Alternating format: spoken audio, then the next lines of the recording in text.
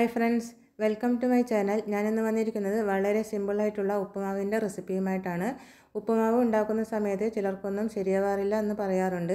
ചിലപ്പോൾ വെള്ളം ചേർക്കുന്ന സമയത്ത് കുറഞ്ഞു പോവും അല്ലെങ്കിൽ കൂടിപ്പോവും. സോഫ്റ്റ് ആവാറുമില്ല എന്നൊക്കെ പറയുന്നത് കേൾക്കാം. അപ്പോൾ കറക്റ്റായി എങ്ങനെ ഉണ്ടാക്കാമെന്ന് നമുക്കിത് നോക്കാം. ആദ്യം ഒരു പാത്രം അടുപ്പിൽ വെച്ചിട്ടുണ്ട്. ഇതിലേക്ക് ഒരു ടീസ്പൂൺ അളവിൽ നെയ്യ് ഒഴിച്ച് കൊടുക്കാം. നെയ്യ് ചൂടായി വന്നതിന് ശേഷം നമുക്ക് തീ മീഡിയം ഫ്ലെയിമിൽ വെച്ചിട്ട് ഒരു കപ്പ് റവ ഇട്ട് കൊടുക്കാം.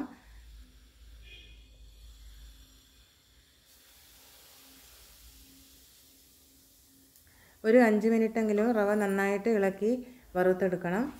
നെയ്യിൽ റവ വറുത്തെടുത്തിട്ട് ഉപ്പുമാവ് ഉണ്ടാക്കുമ്പോഴാണ് നല്ല സോഫ്റ്റായിട്ടും ടേസ്റ്റായിട്ടും നമുക്ക് ഉപ്പുമാവ് കിട്ടുന്നത്.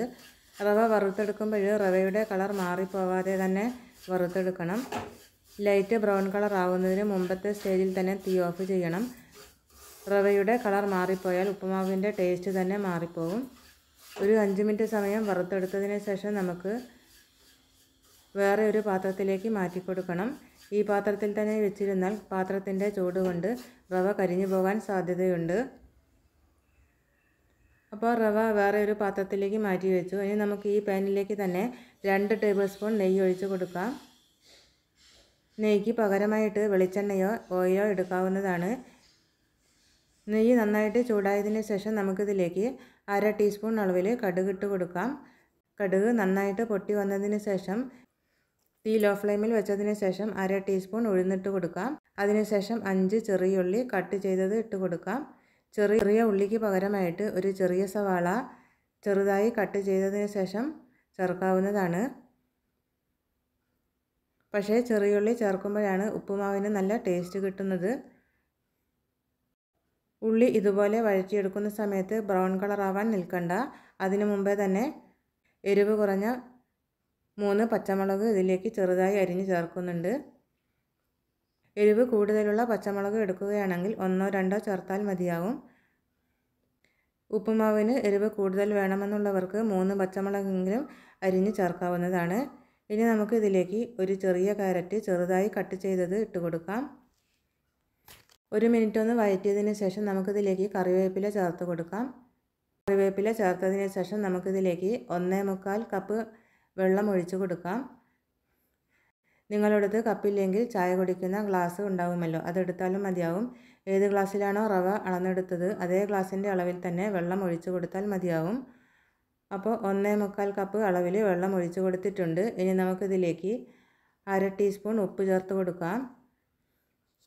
ഞാനിപ്പോൾ ഇതിലേക്ക് കല്ലുപ്പാണ് ചേർത്ത് കൊടുക്കുന്നത്.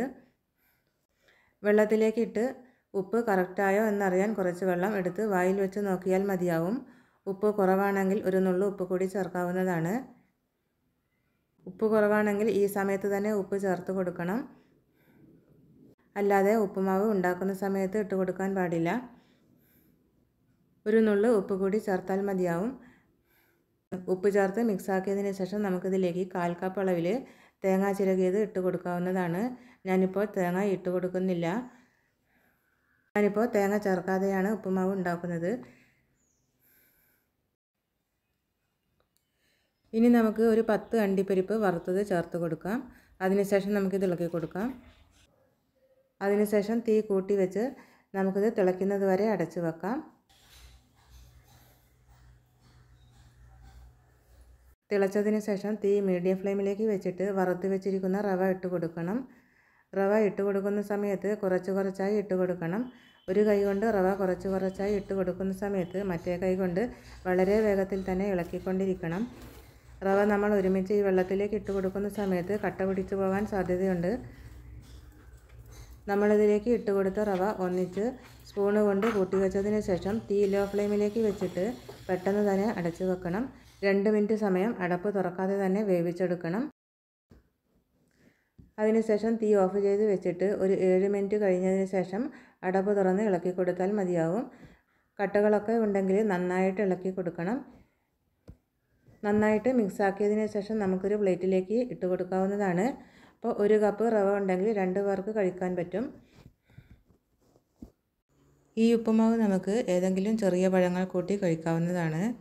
നിങ്ങൾക്ക് ഈ വീഡിയോ ഇഷ്ടമായെന്ന് വിചാരിക്കുന്നു. ഇഷ്ടമാവുകയാണെങ്കിൽ ഈ വീഡിയോയുടെ താഴെ കമന്റ് ഇടാൻ മറന്നു പോകരുത് അതുപോലെ ഇഷ്ടമായ റെസിപ്പികൾക്ക് ഒരു ലൈക്കും കൂടി തരാട്ടോ നമ്മുടെ ഈ ചാനൽ ആദ്യമായിട്ടാണ് കാണുന്നതെങ്കിൽ ഈ വീഡിയോ പ്രസന്റ് ചെയ്യുന്നത് ഇഷ്ടമാവുകയാണെങ്കിൽ ഈ ചാനൽ ഒന്ന് സബ്സ്ക്രൈബ് ചെയ്യാട്ടോ അപ്പോൾ ചാനൽ സബ്സ്ക്രൈബ് ചെയ്യുമ്പോൾ ഈ ചാനലിന്റെ വലത് സൈഡിൽ സബ്സ്ക്രൈബ് എന്ന് കാണും.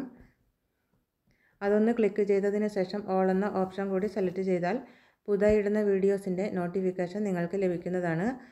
അപ്പോൾ നമ്മുടെ അടുത്ത നല്ലൊരു റെസിപ്പിയായി വരുന്നത് വരെ ബൈ. Thanks for watching.